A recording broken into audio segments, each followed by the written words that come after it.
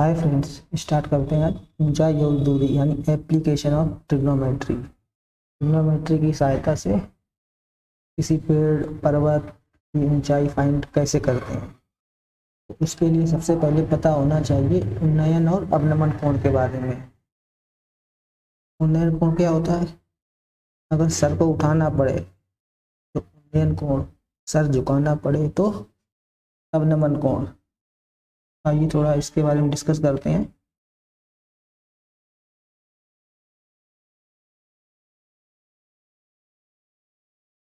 जैसे ये कोई लड़की बैठी है यहाँ पर, नीचे देख रही है।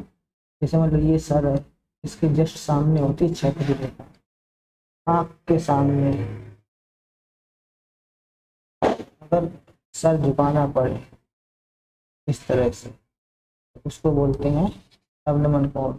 यानी कि सर को नीचे झुकाना पड़े। तो अवनमन कोण और यहीं अगर कोई इंसान नीचे है और ऊपर पतंग उड़ रही है, जैसे मान लो इस तरह से तो सर उठाना पड़ेगा। तो ये है उन्नयन कोण।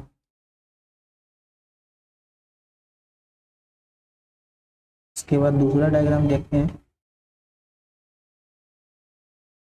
जैसे ये है, ये पतंग उड़ रही है, ये लड़की नीचे से ऊपर। सर को उठा के देख रही है।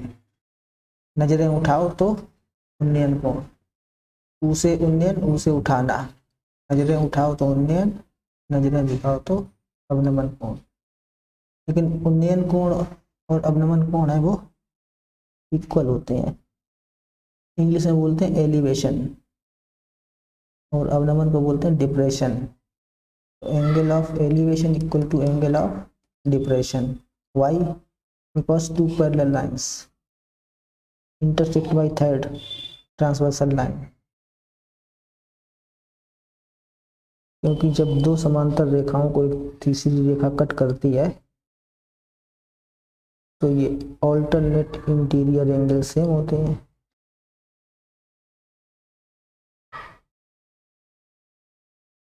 और एक डिवाइस होती है थियोडोलाइट इसकी सहायता से एंगल मेजर करते हैं।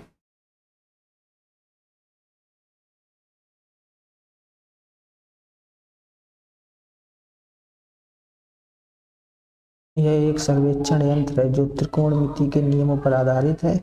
इसका प्रयोग करके कोण का मापन करते हैं। और इसमें एक टेलीस्कोप लगा होता है इस तरह से।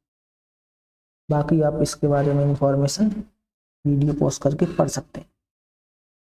असली मकसद है क्वेश्चन को सॉल्व करना। क्वेश्चन नंबर फ़र्स्ट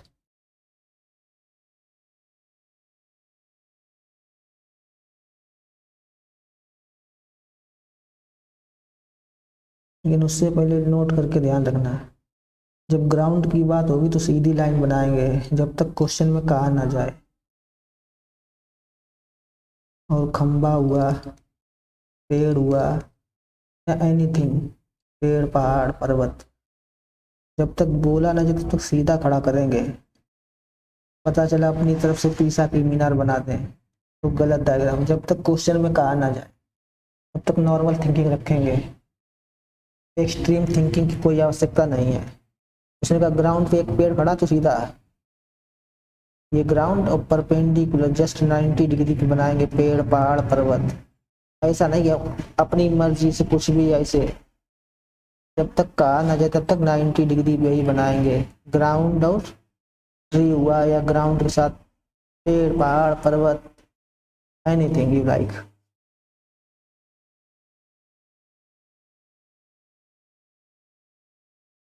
क्वेश्चन है कि सर्कस में एक कलाकार है 20 मीटर की डोरी पर चढ़ता है। ये डोरी है 20 मीटर जैसे खंबे पे चढ़ना तो एक डोरी बांधेंगे तो इसकी सहायता से जा रहा है, ऐसे नहीं जा रहा है। और ये डोरी है, बिल्कुल तनी हुई है, सीधी जैसे पतंग उड़ती है जैसे इस तरह से, और डोरी एकदम तनी हुई, एकदम टाइट। भूमि स्तर के साथ, डोर के साथ बनाया गया कोण। ये वाला कोण दिया गया तीस डिग्री। ऊंचाई ज्ञात करनी है। ये हाइट। तो ये कोण दिया गया तीस। थीटा इक्वल टू दिया गया तीस डिग्री। कोण के सामने होता है परपेंडिकुलर, यानी कि लंब। 90 डिग्री के सामने होता है कर्ण तो ये 90 डिग्री ये हो गया कर्ण यानी एच। कोण के सामने होता है पी परपेंडिकुलर परपेंडिकुलर और हाइपोटेनस में क्या संबंध होता है? साइन थीटा इक्वल्स टू होता है perpendicular upon hypotenuse cosec theta equal to होता है हाइपोटेनस अपॉन परपेंडिकुलर चाहे इससे कर लो, चाहे इससे। लेकिन ज़्यादातर साइन का ही यूज़ करते हैं। साइन का ही हो सकता है कॉस का और टेन का। इन्हीं तीन से क्वेश्चन सॉल्व हो जाएँगे। इन तीन की कोई आवश्यकता नहीं है। कौशिक हुआ, सेक हुआ और कॉट हुआ। इनका यूज़ नहीं करें। साइन थीटा कितना दिया गया? तीस डिग्री। परपेंडिकुलर कितना है? फाइंड करना है। एच। हाइपोटेनस कितना? है ट्वेंटी। साइन थर्टी की वैल्यू होती है वन बाई टू। टेबल बताई थी कैसे बनती है, कैसे याद होती है। Thirty degree one upon two equals to H by ten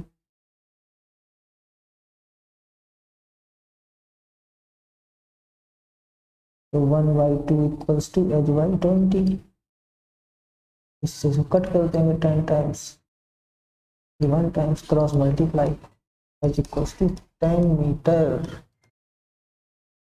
यही है हाइट चलते हैं नेक्स्ट क्वेश्चन पर।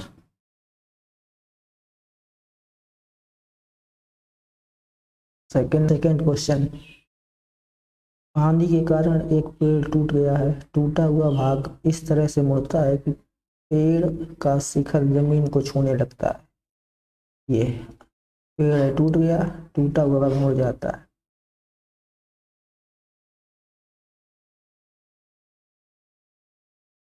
तो ये ग्राउंड है, और ये कोई पेड़ होगा पहले, आंधी आई ये टूट गया तो इतना हिस्सा ये ऊपर वाला यहाँ से मान लो ब्रेक होकर ये टच करने लगा इस तरह से। पहले कंप्लीट पेड़ था इस तरह से। आंधी आई तो ये टूट गया, और ये ऊपर वाला हिस्सा इस तरह से झुक गया, नीचे ज़मीन को टच करने लगा। अब टूटा हिस्सा यहाँ आ गया। मतलब ये डिस्टेंस और ये डिस्टेंस इक्वल है। और ये थर्टी डिग्री है यहाँ पर।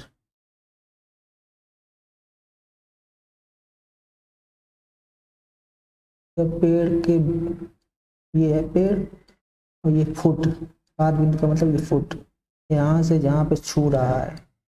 ये डिस्टेंस दी गई है एट मीटर तो पेड़ की ऊंचाई ज्ञात करनी है। ये कंप्लीट हाइट एच अगर ये एक्स मान लें इसको।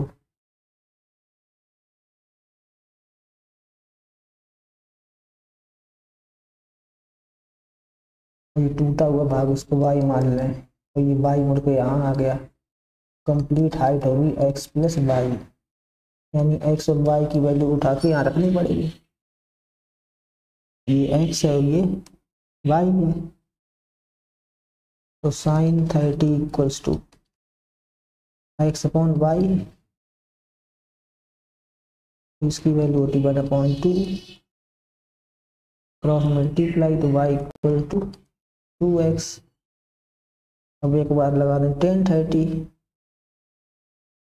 लंबटे आधार यानी टेन तीस equals to X upon eight tan तीस की वैल्यू कितनी होती है? One upon root three equal to X Y eight cross multiply कर दें तो ये हो जाएगा root three X equals to eight X equals to eight upon root three, जो भी होगा मीटर, सेंटीमीटर। अब x की वैल्यू इसमें रख दें तो y निकल आएगा।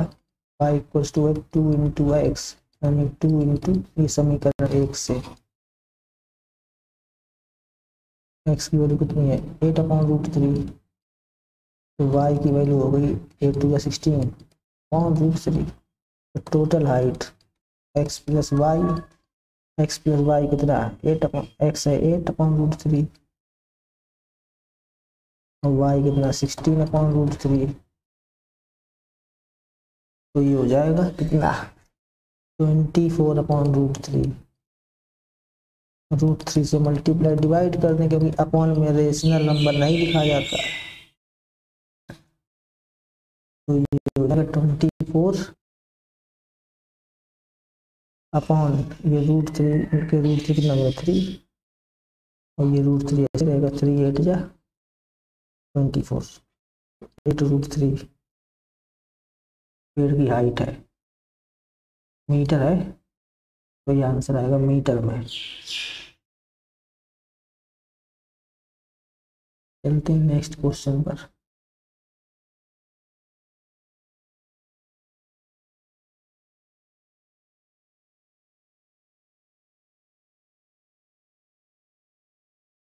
मेरा एक ठेकेदार बच्चों को खेलने के लिए दो फिसलन पट्टी बनाना चाहता है, लगाना चाहता है। पाँच वर्ष से कम उम्र के बच्चों के लिए ऐसी फिसलन पट्टी लगाना चाहता है, जिसके शिखर की ऊंचाई है वो 1.5 मीटर। शिखर की ऊंचाई 1.5 मीटर। इस तरह से फिसलन पट्टी ये होती है, इस तरह से। यहाँ से बच्चे चढ़ के फिर फिसलते हैं ऊपर से। नीचे। इसी को बोलते हैं फिसलन पट्टी। और भूमि के साथ तीस अंश का कोण बनाती है। ये वाला कोण है तीस डिग्री का। जबकि इससे अधिक उम्र के बच्चे आए उनके लिए तीन मीटर हाइट का, जो भूमि के साथ साठ अंश का कोण। इस तरह से इसकी ऊंचाई ज़्यादा होगी। ये कोण है, साठ डिग्री का। इसकी ऊंचाई तीन मीटर। प्रत्येक फिसलन पिट्टी की लंबाई क्या होगी? इसकी लंबाई बतानी है, इसकी लंबाई बतानी दो क्वेश्चन है इसमें, एक क्वेश्चन ये से है, एक क्वेश्चन ये है। इनको अलग अलग भी बना सकते हैं। एक बार तीस है, डिग्री, एक बार साठ डिग्री है। यहाँ पर 1.5 है। इसको एक्स मान लें, इसको वाई मान लें। और ये तीन मीटर हाइट है। तो ये कोण के सामने होता है परपेंडिकुलर 90 डिग्री के सामने होता है हाइपोटेनस पहले इस वाले केस में, केस फ़र्स्ट में, ये 1.5 ईयर वाले बच्चों के लिए है, डेढ़ साल। तो ये तीन साल वाले बच्चों के लिए। तो यहाँ पे हो जाएगा साइन तीस इक्वल्स टू ये one point five upon X ये होता one by two equals to one point five upon X cross multiply तो X equal to one point five two या थ्री मीटर ऐसे यहाँ पे sine sixty equal to angle के सामने perpendicular 90 degree के सामने हाइपोटेनस ये three upon Y sine sixty becomes root three by two ये जगह three by three upon Y cross multiply कर देंगे इसमें तो वाई इक्वल्स टू हो जाएगा, ये हो जाएगा थ्री टू या सिक्स और ये रूट थ्री अपॉन में आ जाएगा, फिर इसको अपॉन में रेशनल नंबर होता नहीं है तो रूट से multiply divide six root three upon three three two जा सिक्स यानी कि two root three metre next question पे. फोर नंबर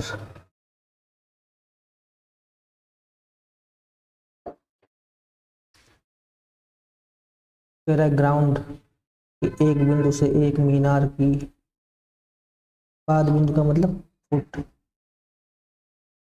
तीस मीटर दूर है। तो एक ग्राउंड बनाएँगे। एक मीनार। बताया जब तक कहा ना जब तक नाइन्टी डिग्री बनाएँगे। ईसा की मीनार नहीं बनाएँगे, गलत हो जाएगा। तीस मीटर दूरी पर। यहाँ पर कोई एक पॉइंट ले लिया इधर इधर भी ले सकते हैं। पॉइंट कहीं, मान लिया ए पॉइंट है। तो ये है तीस मीटर।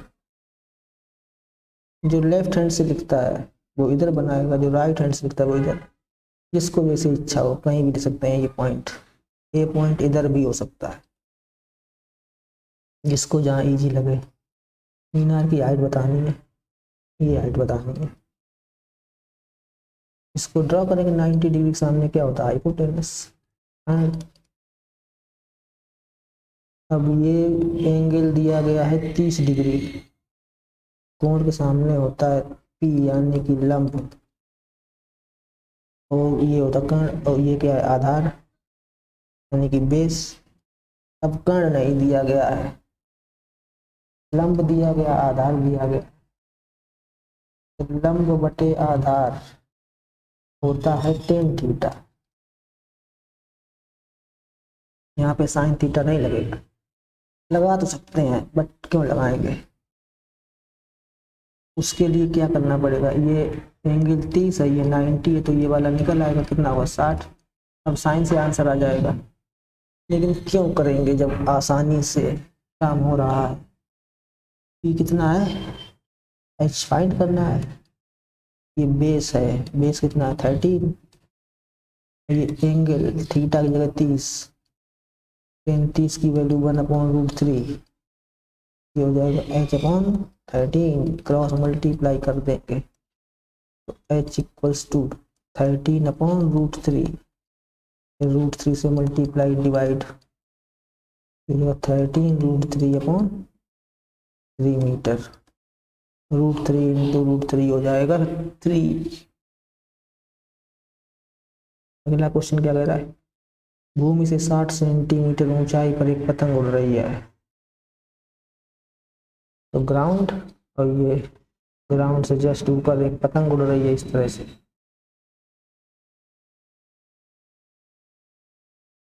पतंग में लगी डोरी को अस्थायी रूप से बाँध दिया जाता है।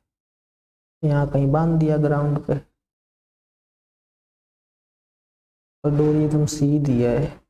डोरी का झुकाव साठ अंश है।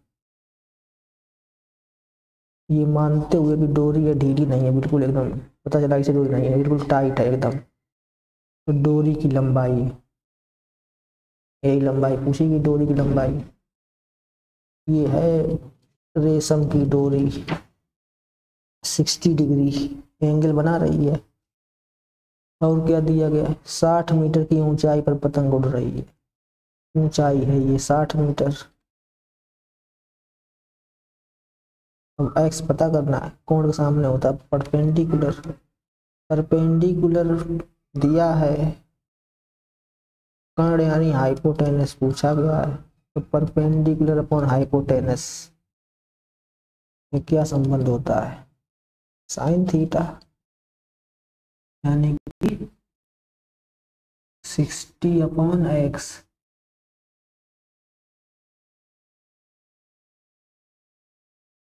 equal to sine theta कितना है? सिक्सटी डिग्री तो साइन सिक्सटी की वैल्यू रख देंगे root three by two sixty over X cross multiply root three X equals to ये हो जाएगा one twenty X equals to one twenty upon root three फिर अपॉन में रेशनल नंबर होता नहीं है तो जो नीचे है उसी से मल्टीप्लाई डिवाइड ये one twenty root three upon इन दोनों का इंटू करेंगे थ्री हो जाएगा थ्री फोर जा ट्वेल्व यानी कि forty root three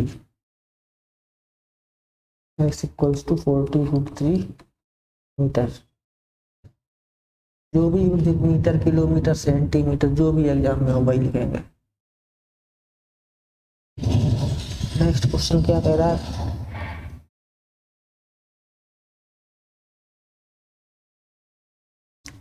one point five metre का लड़का तीस मीटर ऊँचे भवन से कुछ दूर खड़ा है।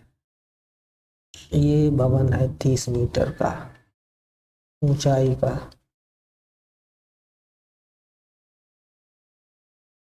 वन पॉइंट फाइव मीटर का लड़का खड़ा है कहीं पे। ये ग्राउंड है, यहाँ कहीं लड़का खड़ा है वन पॉइंट फाइव मीटर का। जब वह आँख से भवन के शिखर का उन्नयन कोण तीस से साठ हो जाता जब उसकी आँख से भवन के शिखर का उन्नयन कोण तीस से साठ हो जाए, पहले इसको ऐसे मिलाएँगे। लड़के की ऊंचाई है तो सर यहाँ कहीं होगा? आँख की सीध में लाइन होती है। ये कोण दिया गया है तीस डिग्री पाई ले तो। अब जैसे कोई बिल्डिंग है, अगर बिल्डिंग से दूर जाएँगे तो कोण है वो क्या होगा? कम होता है देखिए जैसे जैसे बिल्डिंग से दूर जाएँगे कोण होगा कम? ये एंगल कम होता जाता है। और इसके रिवर्स अगर पास जाएँगे तो एंगल इंक्रीज होता है। साठ हो गया मतलब आगे बढ़ गया लड़का। सिक्सटी डिग्री हो गया है और लड़का यहाँ आ गया इस जगह। लड़का तो वही लंबाई थोड़े बदल जाएगी, ऊंचाई तो वही रहेगी लड़के की। तो कितनी दूरी चलकर गया है? ये दूरी पूछी गई, कितनी दूरी चला है? ये एक्स मान ले तो ये भी एक्स होगा ये। इसको वाई मान लेते हैं एक अलग से डायग्राम बना लेते हैं थोड़ा सा, समझने के लिए। कितना डायग्राम बनेगा इसमें? मेन डायग्राम यही है जो ये वाला। इसी को बनाते हैं ग्रीन कलर वाले सिर्फ़। ये 1.5 है। ये तो ये भी 1.5 होगी और ये भी 1.5 इतनी कंप्लीट है तीस। तो तीस में से 1.5 है, माइनस कर देंगे। ये तीस मीटर है और ये 1.5 मीटर। तो ये इफ़ेक्टिव लेंथ कितनी बचेगी? कितनी? Thirty minus one point five, यानी थर्टी से पहले एक घटाएँगे तो ट्वेंटी नाइन, आधा और घटा देंगे twenty eight point five. Metre? बाकी कुछ नहीं पता, ये एंगल पता है, तीस डिग्री हुई है साठ डिग्री ये डिस्टेंस पूछी गई है, कितना चल के गया। पहले ए था, फिर बी पे पहुँच गया। इसको सी मान लें, इसको डी मान लें तो ये वाई मान लें तो दो ट्राइंगल ऐसे ट्राइंगल जिनमें एक को 90 डिग्री हो, वो वाले लिए जाएँगे। तो ये एंगल 90 है तो एक ये वाला त्रिभुज दिया जाएगा और ये कंप्लीट ट्राइंगल ये इस तरह से। तो त्रिभुज बी सी डी में ये क्या है? परपेंडिकुलर है, ये बेस है। तो परपेंडिकुलर अपॉन बेस है, यानी कि tan sixty equals to twenty eight point five upon five tan sixty की value root three equals to twenty eight point five one pi तो यहाँ से वाई की वैल्यू कितनी निकल आएगी?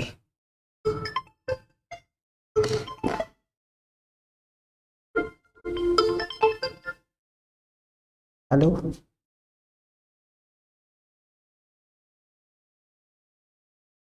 तो y इक्वल्स टू हो जाएगा twenty eight point five upon root three root three से मल्टीप्लाई और डिवाइड कर देंगे। तो ये हो जाएगा twenty eight point five root three upon three cut कर देंगे। थ्री नाइन जा ट्वेंटी सेवन थ्री फाइव जा फिफ्टीन तो y इक्वल्स टू आगे कितनी value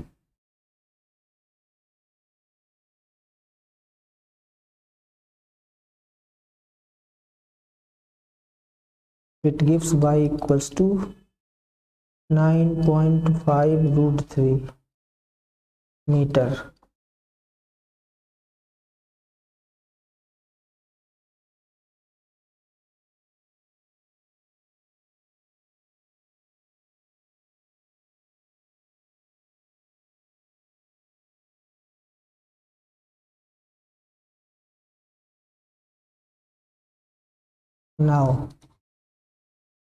complete triangle triangle A C D